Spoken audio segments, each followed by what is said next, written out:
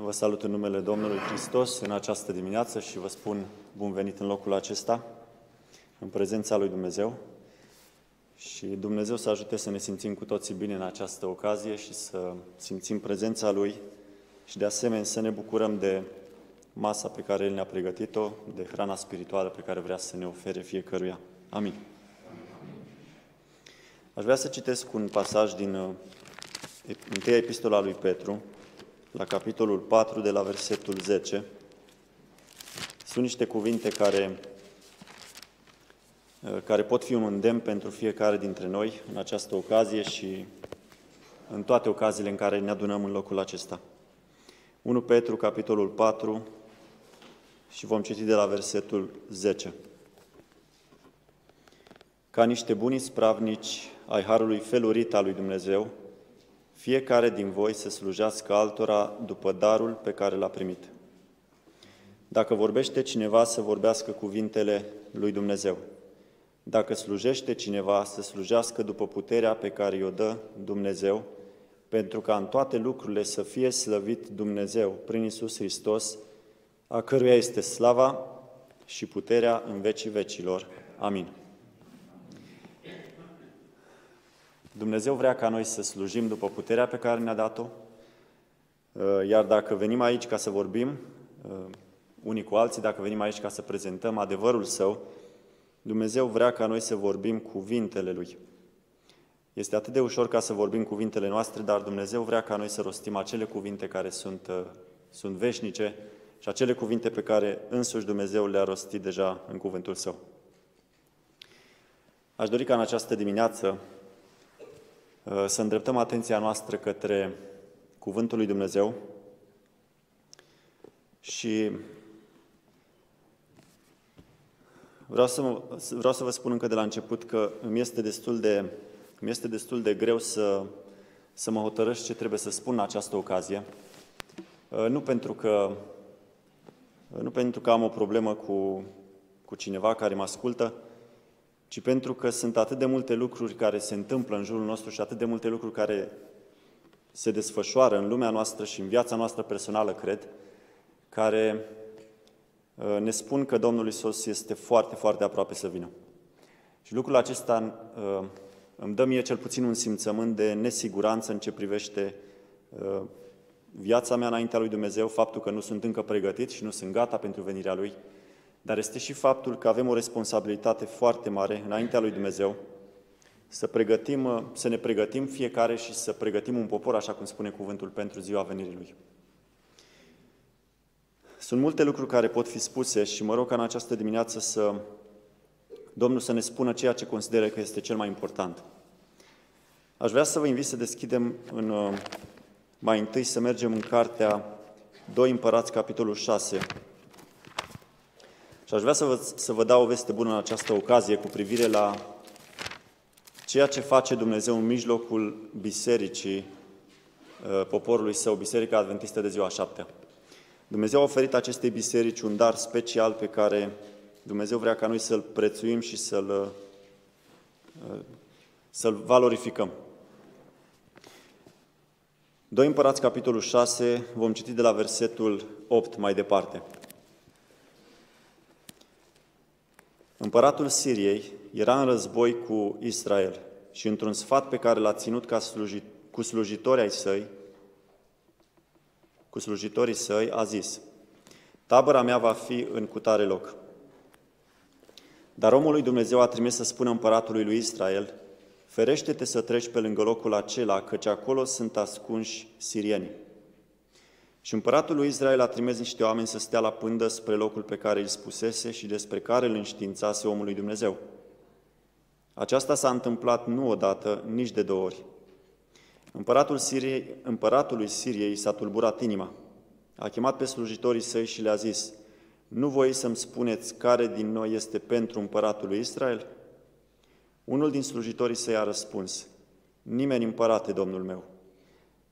Dar prorocul Elisei, care este în Israel, spune împăratului lui Israel cuvintele pe care le rostești tu în odaia ta de culcare.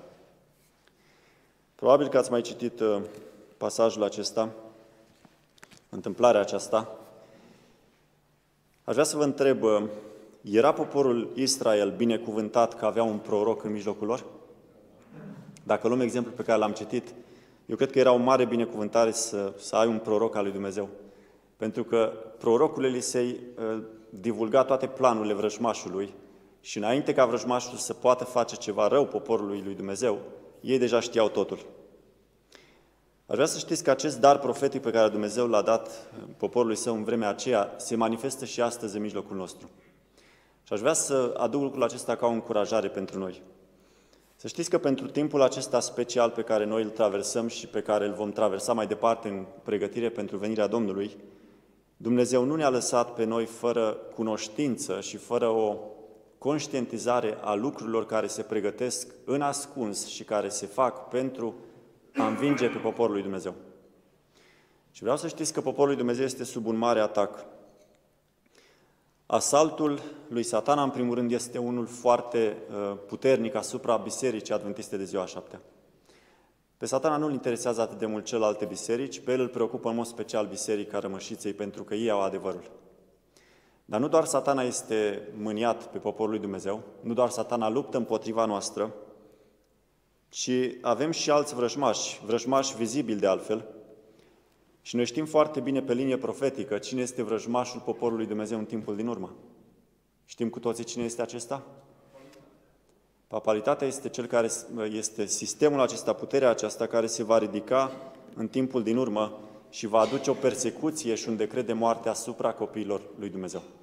Deci putem să recunoaștem în această dimineață faptul că ne aflăm într-un conflict, într-un mare război și suntem atacați din toate părțile, însă ce consolare este faptul că avem un profet în mijlocul nostru, un dar de la Dumnezeu, prin Spiritul Profetic care ne descoperă toate planurile inamicului și ale vrăjmașului. Aici cuvântul ne spune că sirienii adesea făceau tot felul de planuri și puneau la care anumite strategii prin care să-i, uh, să-i bată pe, pe cei din poporul Israel, să-i, să-i prindă în cursă, ca să spun așa. Însă Dumnezeu, prin profetul Elisei, îi descoperea împăratului lui Israel ceea ce urma să se întâmple și astfel ei puteau să deturneze planul care era făcut. Frații mei, nu știu dacă suntem conștienți în această dimineață. Uh, din cauza că noi nu putem vedea ce se întâmplă în spatele cortinei, dar în lumea aceasta de îngeri și demoni care lucrează pentru distrugerea oamenilor, uh, ne este, nu ne este vizibilă. Nu putem să vedem dincolo. Și mai mult decât atât, nu putem vedea nici planurile pe care satana le face prin agenții lui din lumea aceasta.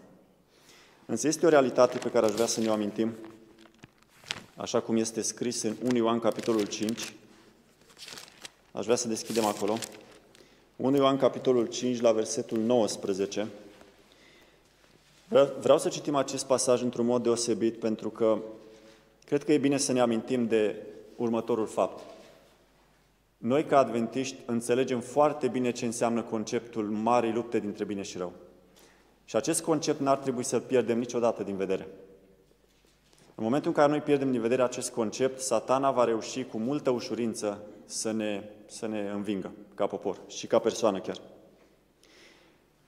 Spune aici 1 Ioan, capitolul 5, la versetul 19, Știm că suntem din Dumnezeu și că toată lumea zace în cel rău. Ce înseamnă aceste cuvinte pentru noi? Ce înseamnă când Dumnezeu spune că toată lumea, întreg pământul, zace în cel rău? Asta înseamnă, frați și surori, că atunci când ne uităm la lumea noastră de astăzi, în proporție de 99%, și nu cred că greșesc dacă spun lucrul acesta, poate este mai mult de atât, în proporție de 99%, Lumea aceasta este condusă, este controlată, este stăpânită de puterile întunericului. Dacă noi nu credem lucrul acesta sau nu conștientizăm lucrul acesta, vom fi amăgiți atât noi înșine cât și noi ca biserică, mă refer. Și Dumnezeu ne, ne spune toate aceste lucruri pentru că are o singură dorință. El vrea că atunci când se va desfășura ultimul mare conflict în lumea noastră, apogeul acestui conflict, pentru că conflictul deja a început, noi să fim printre cei care vor supraviețui acestei crize finale. Câți dintre dumneavoastră doriți să fiți printre supraviețuitori? Doriți să supraviețuiți în criza care va veni? Doriți asemenea lui Noe și familiei lui să fiți în arca aceea de salvare? Cu ajutorul lui Dumnezeu? Fie ca Dumnezeu să ne ajute să avem parte cu toții de această, de această salvare pe care El ne oferă. Însă vreau să știți că pentru a obține această mântuire pe care Domnul Hristos a promis-o, înainte de acel moment vom trece prin încercări foarte mari. Încercări pe care nu ni le putem imagina la momentul acesta.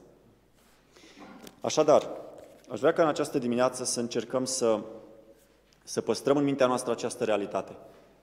Toată lumea în care noi ne aflăm, lumea din jurul nostru, toți oamenii sunt stăpâniți, mai mult sau mai puțin, de puterea celui rău. Asta înseamnă că noi nu putem să avem încredere în nimeni și în nimic decât în Dumnezeu. Sunteți de acord cu această afirmație? Ne îndeamnă Sfânta Scriptură să avem mai multă încredere decât oricând în El și în Cuvântul Său? Așa ne îndeamnă Cuvântul lui Dumnezeu.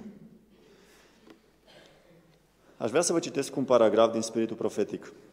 Este un paragraf care ne aruncă puțin, uh, prin imaginație putem să, să vedem lucrul acesta, ne aruncă în viitor atunci când se vor întâmpla anumite lucruri. Și aceste lucruri nu sunt departe de noi. Uh, pasajul se găsește în Solia Alese, volumul 3, la pagina 397. Spune așa cuvântul. Mulți vor fi închiși, adică aruncați în închisori. Mulți vor fugi din orașe mari și mici pentru a-și scăpa viața și mulți vor deveni martiri pentru numele Lui Hristos, stând neclintiți în apărarea adevărului. Aș vrea să observați că în acest paragraf sunt amintite trei categorii de oameni. În momentul în care se va da decretul duminical și va începe persecuția, ă, persecuția aceasta va veni treptat. Vor fi măsuri mai blânde la început și apoi din ce în ce mai, mai dure, până când se va da un decret de moarte.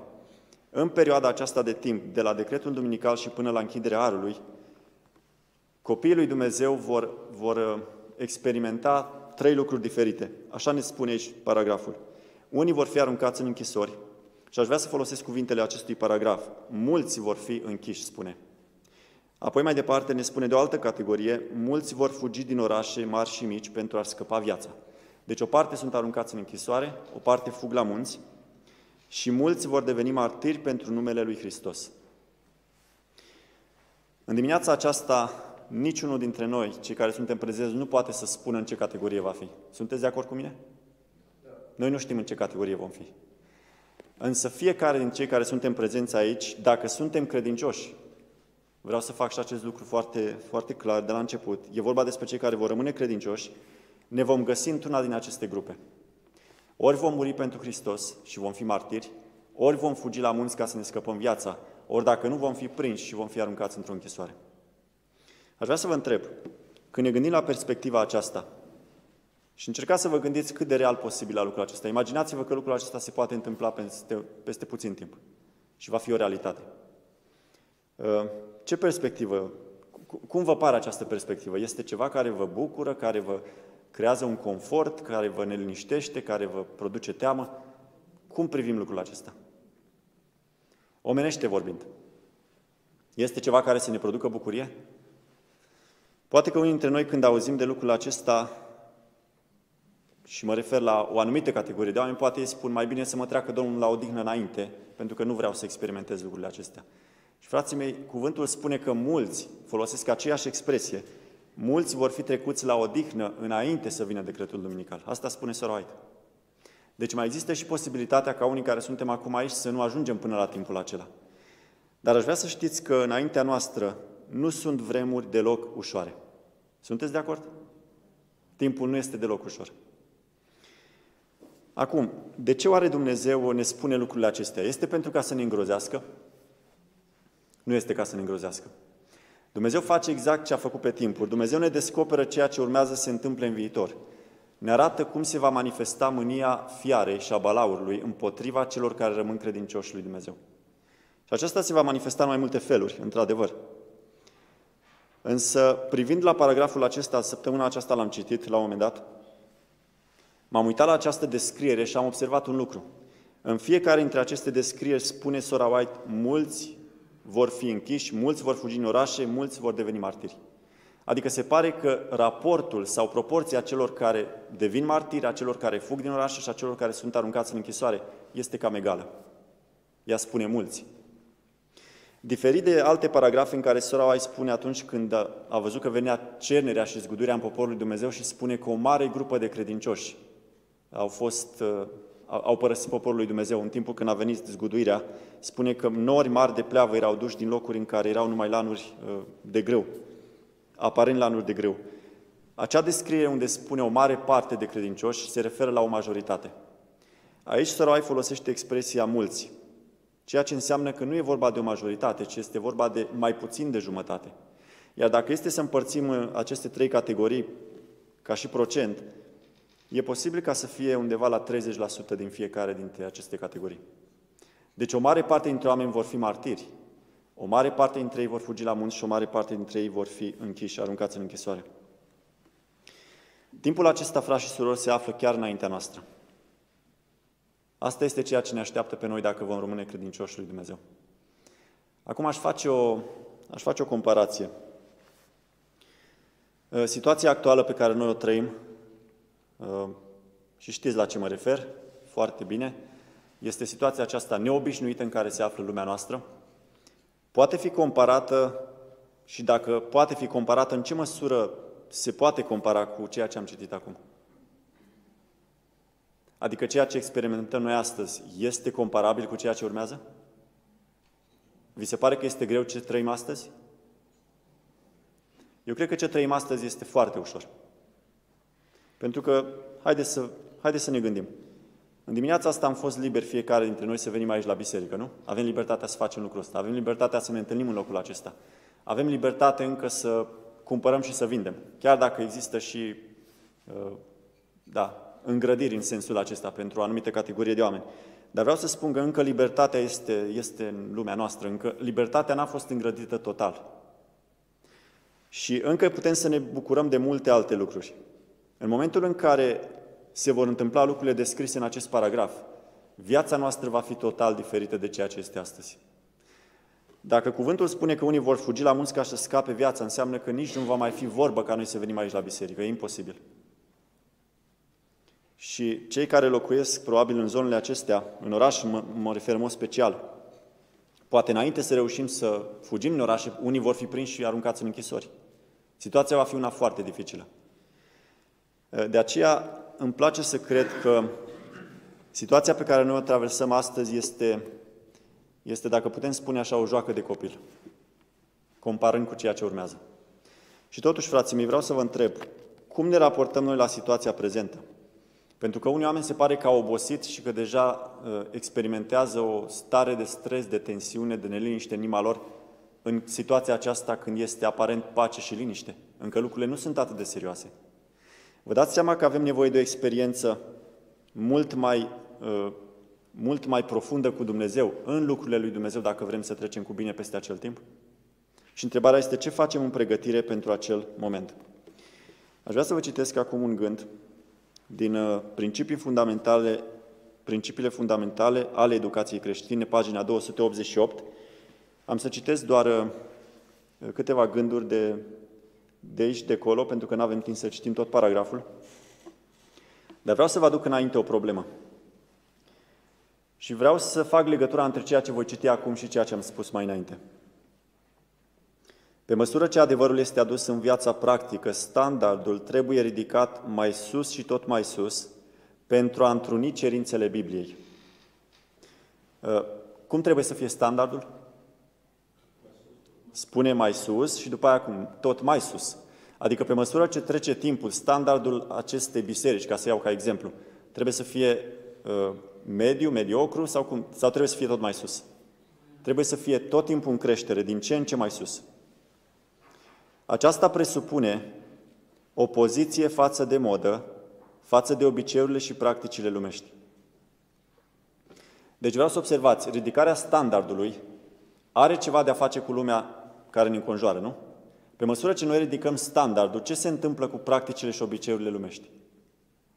Cum sunt ele față de ceea ce facem noi? Sunt în contrast, nu? Și contrastul devine tot mai evident pe măsură ce facem lucrul acesta. Alt gând mai departe. Influențele lumii, ca și valurile mării, se abat împotriva urmașilor lui Hristos pentru a îndepărta de la adevăratele principii ale bunătății și harului lui Hristos. însă ei trebuie să rămână neclintiți ca stânca pentru principii. Și acum spune așa, va fi nevoie de curaj moral pentru a face acest lucru. Iar cei ale căror suflete nu sunt întemeiate pe stânca cea veșnică vor fi măturați de valul lumesc. Care este lucru de care avem nevoie ca să putem ridica standardul și să ne deosebim cu totul de ceea ce face lumea? Aici spune paragraful, avem nevoie de curaj moral. Frații mei, curajul este un lucru destul de rar în vremea noastră. Și eu când mă gândesc la curaj, îmi vine în minte direct o persoană, un personaj foarte important. Din trecut, bineînțeles. Dar a cărui influență încă, încă răsună cu multă putere și astăzi în lumea noastră. Știți cine a fost omul acesta? Un om cu foarte mult curaj. Da, eu mă gândeam la ceva mai mult după perioada biblică. Mă gândesc, mă gândesc la Martin Luther în mod special. A fost Martin Luther un om curajos? Eu cred că curajul lui depășește cu mult orice experiență a oricărui om din istoria, istoria noastră contemporană. Uh, asta înseamnă, la asta mă gândesc eu când citesc curaj moral. Un om care nu are nicio teamă de nimic decât de Dumnezeu. Dar vreau să vă întreb, suntem noi acolo ca popor la momentul acesta? Care este nivelul de curaj în mijlocul poporului Dumnezeu? Și acum când mă refer la curaj, nu mă refer la a face lucruri uh, ieșite din comun, nu mă refer la a deveni, știu eu, sau ca să spun așa, nu mă refer la încumetare, da? Pentru că sunt oameni care sunt curajoși, dar fac niște lucruri care nu sunt cerute de Cuvântul lui Dumnezeu. Mă refer la curajul adevărat de a sta pentru Dumnezeu. Aș vrea să vă citesc mai departe. Când ne opunem lumii, vom avea totală independență morală. Foarte interesant gândul acesta. Zice că independența morală o ai doar când te opui lumii. Nu când faci pact cu lumea. Nu când te asociezi cu lumea. Nu când accepti condițiile pe care ți le impune lumea. Când ești în opoziție cu lumea, atunci dovedești că ai curaj moral și independență morală. Conformându-ne în totul voinței lui Dumnezeu, noi ne vom așeza pe un teren avantajos și vom fi conștienți de nevoia unei despărțiri categorice față de obiceiurile și practicile lumii.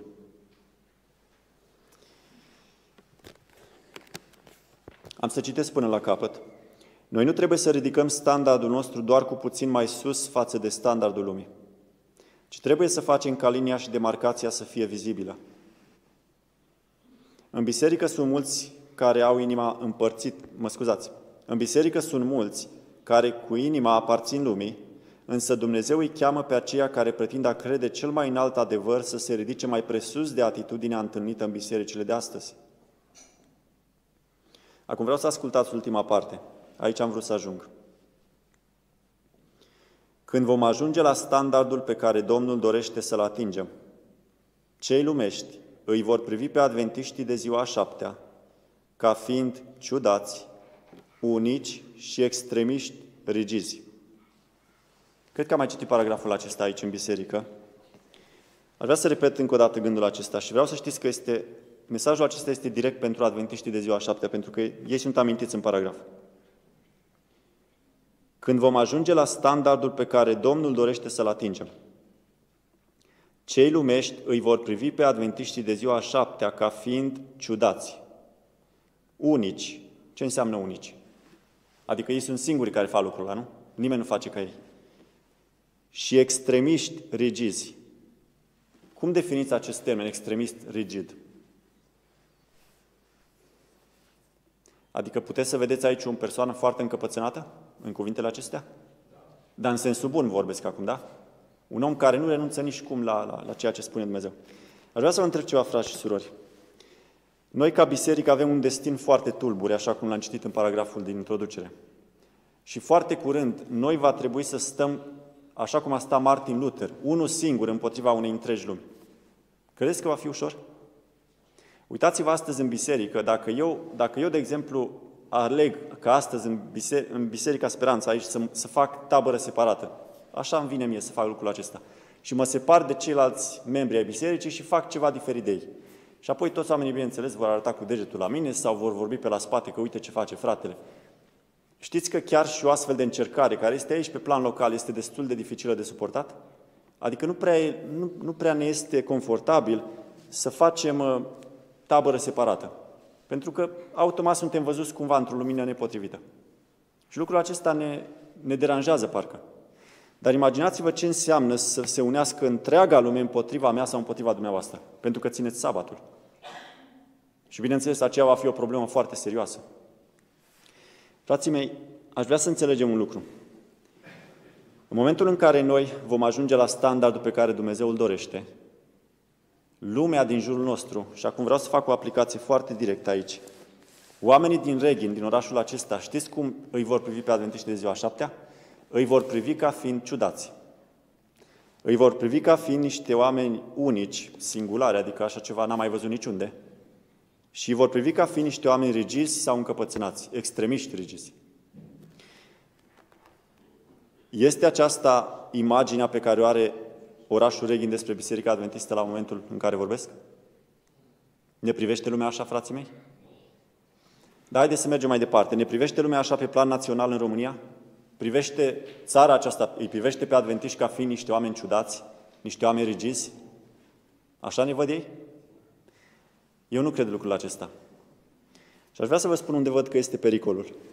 Pericolul este că noi încercăm atât de mult să să distrugem linia de demarcație dintre noi și lume, în orice privință. N-aș vrea să dau neapărat exemple, dar în orice privință, de la A la Z. Atât de mult încercăm să distrugem această linie, încât noi nu putem niciodată să fim considerați, așa cum spune aici paragraful. Decât în măsura în care noi ne-am întoarce cu toată inima la Dumnezeu și am ridicat standardul acolo unde l-a pus Dumnezeu să fie. Frații mei, ă, nu spun lucrul acesta pentru că Uh, așa cum vă spuneam la început, puteam să vorbesc multe alte lucruri. Dar simt că aceasta este o problemă foarte importantă la care ar trebui să ne gândim foarte serios fiecare în parte.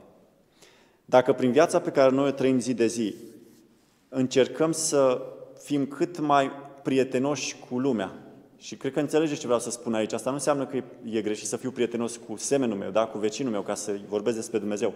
Ci mă refer la prietenia aceasta cu lumea pe care Dumnezeu o condamnă și care spune că este vrăjmășie cu El. Dacă eu încerc să, să șterg această linie clară de demarcație, eu sunt în cel mai mare pericol. Pentru că în felul acesta noi ne pregătim că atunci când toată lumea se va uni împotriva noastră, de fapt să renunțăm la principiile pe care le-am susținut o viață întreagă. Aș vrea să mă apropii de încheiere, vreau să deschidem Cuvântul lui Dumnezeu acum în Apocalips, capitolul 13.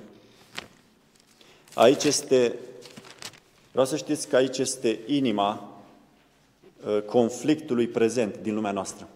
Deci dacă vrem să înțelegem ce se întâmplă acum pe plan mondial, trebuie să citim Apocalips 13 și trebuie să avem în mintea noastră tot timpul versetele 15 până la 17. Uitați ce spune aici cuvântul lui Dumnezeu. Vorbește despre a doua fiară, fiara care se ridică din pământ, ne spune în versetul 15, i s-a dat putere să dea suflare icoanei fiarei, ca icoana fiarei să vorbească și să facă să fie omorâți toți cei ce nu se vor închina icoanei fiarei. Iată așadar o presiune teribilă care va fi exercitată asupra oamenilor. Oamenii vor fi condamnați la moarte pentru că ei nu acceptă să se închină fiarei. Versetul 16 ne spune acum care vor fi măsurile premergătoare decretului de moarte. Vor fi niște măsuri mai blânde. Versetul 16 spune, a făcut ca toți, mici și mari, bogați și săraci, sloboși și robi, să primească un semn pe mâna dreaptă sau pe frunte.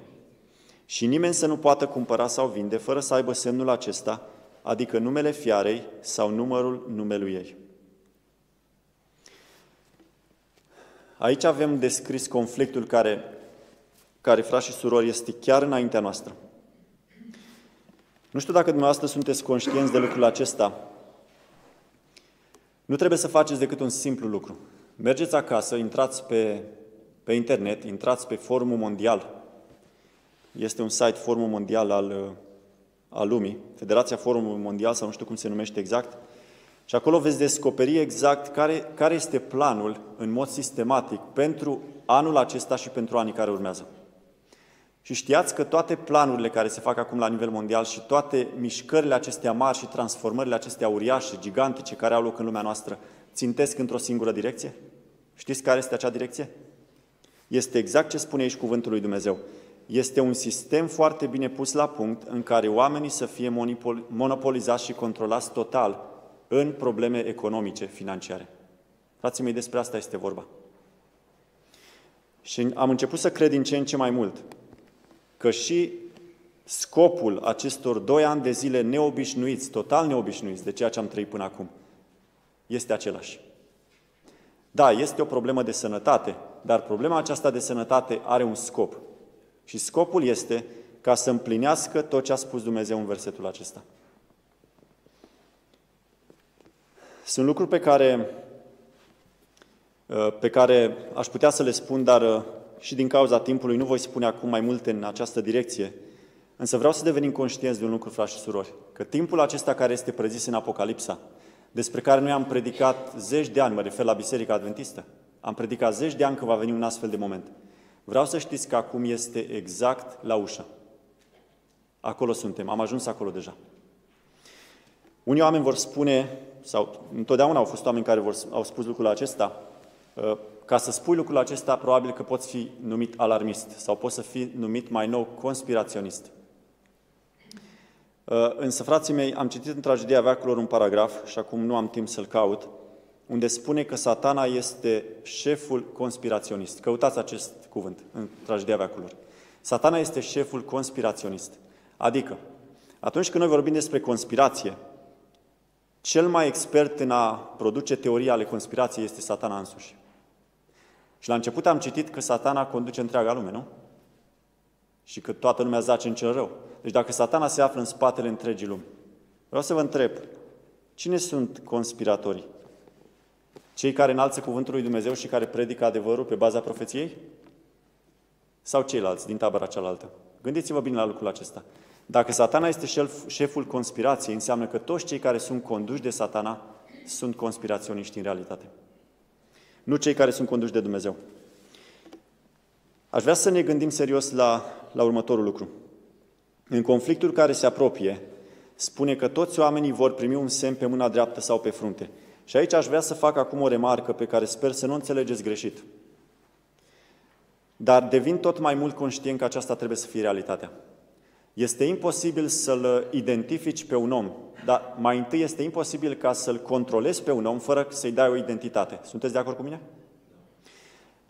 Poate ați observat și dumneavoastră că în, în zonele acestea unde locuiesc uh, uh, țigani, sunt țigani care n-au nici măcar buletin, dar ei nici nu se duc la primărie să-și facă buletin, n-au nicio treabă cu societatea. Sunt ca și cum ar fi în afara societății. Vreau să vă întreb cât de ușor este să identifici un astfel de om. Cum îl cheamă, de unde este, ce se întâmplă cu el. Știi ceva despre el? Nu poți să știi ușor despre el, nu? Pentru că el nu are o bază prin care poți să-l identifici. Dar noi, cei care avem cărți de identitate și avem pașapoarte și avem o mulțime de date personale, acestea sunt folosite pentru a ne identifica cu ușurință. Și de fapt nici nu avem acces în instituții publice sau în a rezolva orice problemă fără a prezenta mai întâi cartea de identitate. Aș vrea să înțelegem o problemă. Lumea noastră de acum se pregătește să ne dea o identitate nouă fiecăruia dintre noi. Pentru că pe baza acestei identități noi vom putea la un moment dat să continuăm să facem tranzacții, să cumpărăm și să vindem. Însă vreau să vă gândiți la un lucru. E posibil ca eu să fiu controlat la nivel personal, da? Dacă intru într-un magazin și cumpăr ceva sau dacă fac tranzacții online. E posibil să fiu controlat fără ca să existe un semn de identificare? Știți că lucrul acesta este o problemă reală. Va fi foarte dificil. Ceea ce înseamnă că semnul acesta despre care se vorbește aici, și e vorba despre semnul fiarei, da? Semnul care va fi pus pe mâna dreaptă sau pe frunte, într-un anumit sens, acest semn trebuie să fie și ceva vizibil.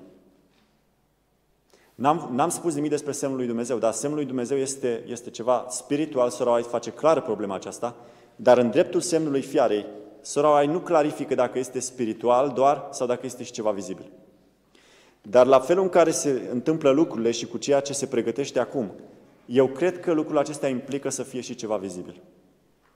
Fie că este vorba despre ceva care se va imprima pe pielea noastră, sau ceva care ni se va injecta în corpul nostru, sau știu eu pe ce altă cale vor face lucrul acesta, dar în felul acesta ei vor putea să-i trieze pe oameni atunci când oamenii vor să intre într-un magazin și să facă cumpărături. Ca să mai ai acces sau nu la aceste lucruri. Frații mei, problema aceasta nu sună deloc bine, pentru că în momentul în care oamenii vor fi obligați să primească acest semn de identificare sau această identitate nouă, sunt sigur că mulți vor refuza acest lucru și de acolo vor urma consecințele pe care le cunoaștem foarte bine. Însă aș vrea să înțelegem ceva. Spune că semnul acesta este pus pe mâna dreaptă și pe frunte. Și aș vrea să ne gândim ce înseamnă pe frunte și pe mână. Vorbim despre semnul fiarei. Fruntea reprezintă locul în care noi luăm decizia, iar mâna reprezintă acțiunile noastre. Atunci când semnul acesta va fi impus, satana va încerca să-i constrângă pe oameni mai întâi la nivel psihic, să accepte instituția Duminicii. În momentul în care unii nu vor accepta, uh, da, nu, vor, nu vor fi de acord cu această măsură sau nu vor fi de acord cu acest lucru la nivel intelectual, pe satana nu-l interesează. Pe satana îl interesează un singur lucru, ca tu să accepti oricum ceea ce spune el, fie că crezi lucrul acesta sau nu, în mintea ta. Și atunci, de aceea spune Biblia că semnul va fi pe mâna dreaptă, pentru că satana vrea ca tu să lucrezi în ziua de sabat eventual și să te odihnești duminica. Exact așa cum se va întâmpla, de fapt. Deci toți cei care vor primi semnul fiarei, ei dacă nu vor accepta lucrul acesta intelectual, pentru satana nu este o problemă, el va fi bucuros dacă ei vor acționa prin faptele lor și vor lucra în ziua în care Dumnezeu a zis să nu lucreze. Însă, diferit de lucrul acesta, aș vrea să observați. Sigilul lui Dumnezeu, așa cum spune Apocalipsa 7 cu versetul 3, este pus numai pe fruntea slujitorilor lui Dumnezeu. Aș vrea să citesc versetul. Nu vă tămați pământul nici marea, nici copacii, până nu vom pune pecetea pe fruntea slujitorilor Dumnezeului nostru. Observați această diferență? Deci semnul fiarei are de-a face și cu mâna și cu fruntea. Adică tu poți să nu fii de acord în mintea ta cu un lucru, dar poți să-l faci practic. Te închini sau nu? Te închini. Pentru că îl primești ori pe frunte, ori pe mână. La Dumnezeu nu se poate așa ceva. Dumnezeu procedează corect. Dacă nu accepti intelectual, pe Dumnezeu nu-L interesează să accepti. El nici nu vrea să accepte așa ceva. Dumnezeu vrea ca noi să acceptăm lucrul acesta de bunăvoie, fără să fim forțați și constrânși. Cu ceea ce am spus acum, frații mei, încercați puțin să vă gândiți la ceea ce se întâmplă în jurul nostru acum, în prezent, în criza actuală. Și n-aș vrea, să, n-aș vrea să spun eu mai multe lucruri, dar încercați să vedeți dacă cumva există un sâmbure de adevăr cu ceea ce am spus acum. Observați un pericol aici? Observați că se încearcă o acțiune prin care oamenii să accepte ceva uh, la exterior, să accepte ceva de formă, chiar dacă în conștiința lor ei nu acceptă de fapt lucrul acela? Și știți că joaca aceasta, sau, sau felul acesta de joc pe care îl propun uh, mari oameni ai lumii, de fapt este, are ca scop să influențeze și să atace credința noastră și conștiința noastră personală? Adică este un fel de duplicitate sau viață duplicitară, nu este așa? Aș vrea să închei cu Apocalipsi, capitolul 3. Și frații mei, vreau ca aceste gânduri pe care vi le-am transmis să le luați acasă cu dumneavoastră și să le analizați, să vă gândiți la ele. Și apoi să faceți ceea ce vă îndeamnă Dumnezeu. În Apocalipsi, capitolul 3, Dumnezeu are un mesaj special pentru biserica din Laodicea. Și problema aceasta nu poate fi rezolvată decât conform remediului pe care Dumnezeu îl oferă aici. Însă, aș vrea să ne aducem aminte care este problema bisericii din Laodicea. Știu faptele tale, versetul 15, că nu ești nici rece, nici în clocot. O, dacă ai fi rece sau în clocot. Dar fiindcă ești căldicel, nici rece, nici în clocot, am să te vărzi din gura mea. Care este nota dominantă în acest pasaj? Care este problema cea mai mare pe care o are Dumnezeu cu poporul Advent? Cum sunt ei? Sunt într-o anumită direcție cu toată inima? Sau în cealaltă cu toată inima? Nu sunt. Ei încearcă să, să joace de ambele tabere, ca să spun așa. A fi căldicel, frați și surori, este o stare foarte neplăcută pentru Dumnezeu. Dar vreau să știți următorul lucru. Pe măsură ce înaintăm în uh, desfășurarea evenimentelor finale, putem să vedem din ce în ce mai clar că această atitudine și stare al audicianului se manifestă în toate problemele, inclusiv în criza aceasta. Știați că poporul Advent în criza aceasta dă dovadă de aceeași stare de căldicel? Și cred că înțelegeți bine la ce mă refer. Dacă în această criză am fi fost cu toată inima într-o direcție, nu, nu contează care direcție, dar am fi fost cu toată inima doar într-o singură direcție, ar fi fost mult mai bine. Dar ne uităm la ceea ce se întâmplă și avem aceeași atitudine de, de căldicel. Suntem și așa, suntem și așa, și într-o parte și în alta. Și lucrul acesta nu-i place lui Dumnezeu. Și nici pe noi nu ne ajută, nu este bine să procedăm așa. Problema cea mai mare pe care o are Dumnezeu cu noi este că noi avem impresia, în continuare, că suntem bine din punct de vedere spiritual. Uitați cum spune versetul 17. Sunt bogat, m-am îmbogățit și nu duc lipsă de nimic. Și nu știi că ești ticălos, nenorocit, sărac, orb și gol.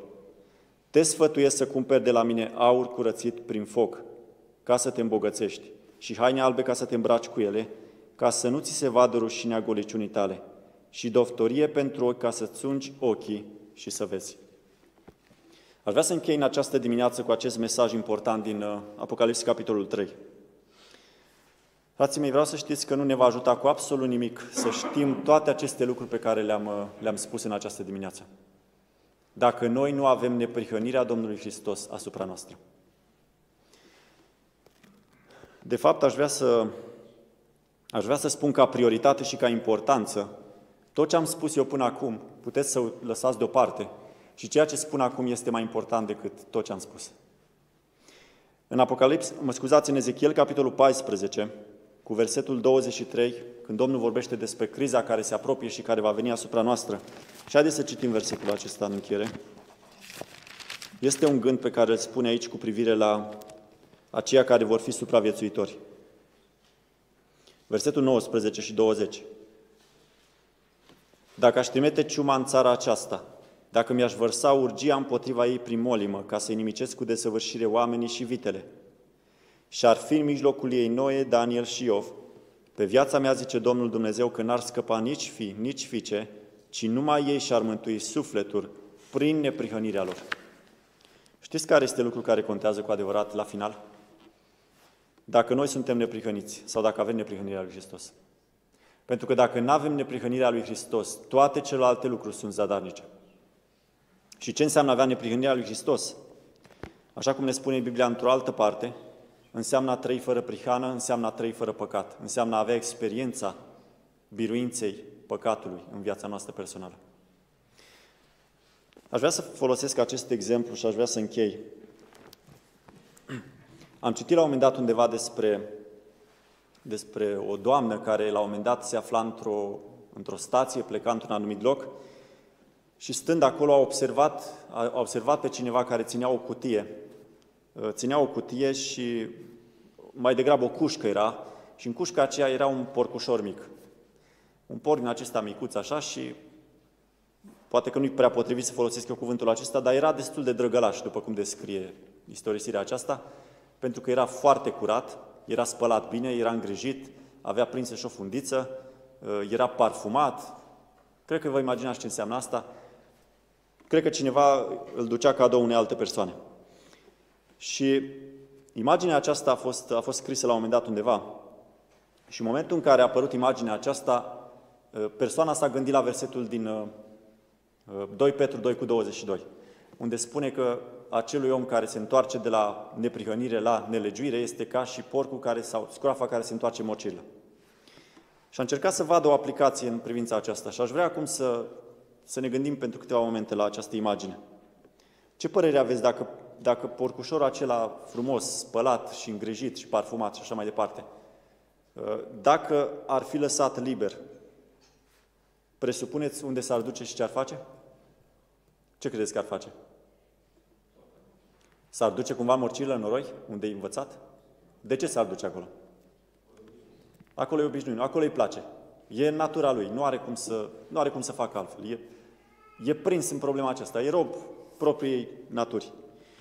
Dar acum aș vrea să vă gândiți la un alt lucru. Dacă, să zicem, luăm acest porcușor și îl ducem la un centru de sănătate, îl ducem la un centru de sănătate, avem mai multe în țară, și îl trecem printr-un program foarte serios, îi facem hidroterapie, tratamente, îi dăm mâncare vegană, îl ținem acolo între oamenii buni, da, îi dăm un loc uh, și niște condiții deosebite ca el să se schimbe, da, să fie, să fie mai bun.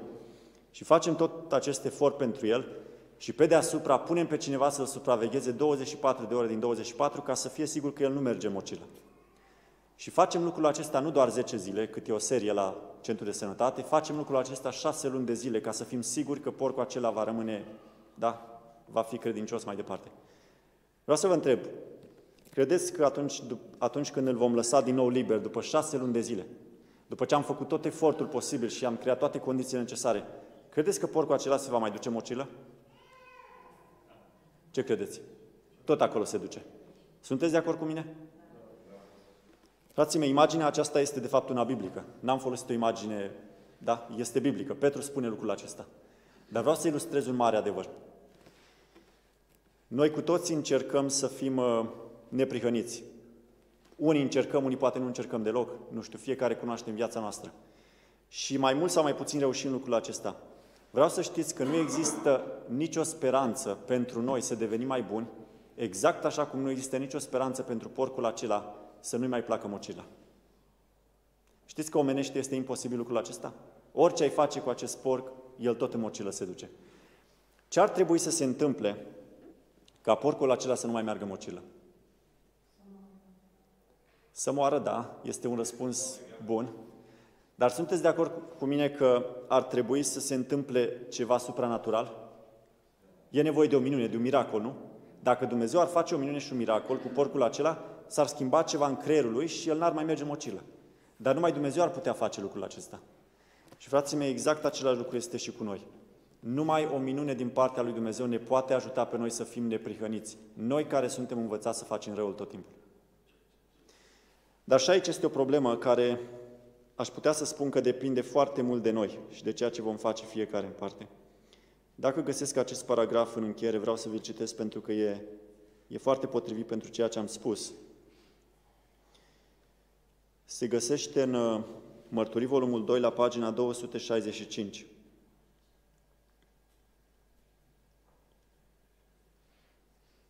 Dacă nu am să redau și din memorie, Sorai ne spune acolo, Bun, am să vă citesc un alt paragraf asemănător din Cartea Temperanță, pagina 112. Vorbește despre această dorință de a face binele și această dorință de a fi neprihăniți. Și așa cum am ilustrat, este imposibil ca noi să facem lucrul acesta. Avem nevoie de o minune din partea lui Dumnezeu în viața noastră. Dar minunea aceasta Dumnezeu nu poate face în dreptul acelora care doar speră și doresc să fie creștini adevărați. Vreau să vă citesc cuvintele. Totul depinde de buna acțiune a voinței noastre. Dorințele de bine și puritate sunt bune în ele însele, dar dacă ne oprim aici, ele nu aduc nimic. Mulți se îndreaptă spre ruină, în timp ce speră și doresc să-și biruie înclinațiile spre rău. Ei nu-și predau voința lui Dumnezeu, nu aleg să-i slujească. În paragraful celălalt spunea că ei nu depun un efort serios în această problemă. Frații mei, vreau să rămân la această idee.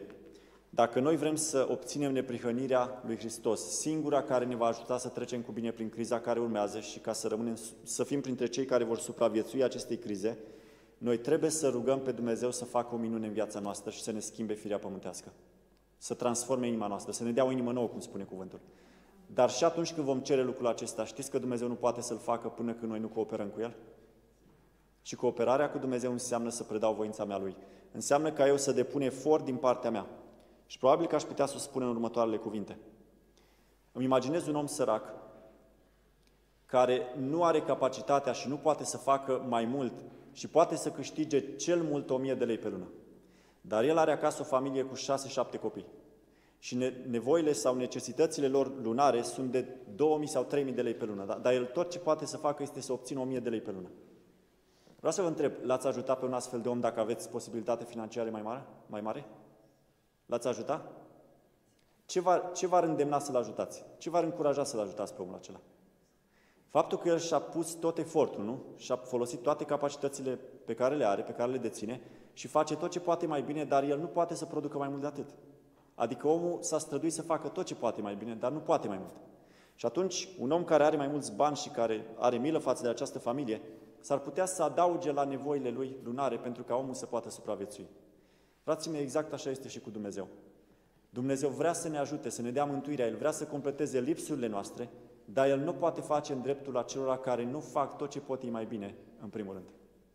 Și întrebarea este, am făcut noi tot ce putem mai bine în dreptul nostru? Mă rog ca Dumnezeu să ne ajute să facem lucrul acesta și prin credință, așa cum spune cuvântul, să obținem acea neprihănire care este de fapt pașaportul nostru și prin, cu ajutorul căruia vom, vom intra în Împărăția Lui Dumnezeu. Dumnezeu să ne binecuvinteze pe fiecare. Amin.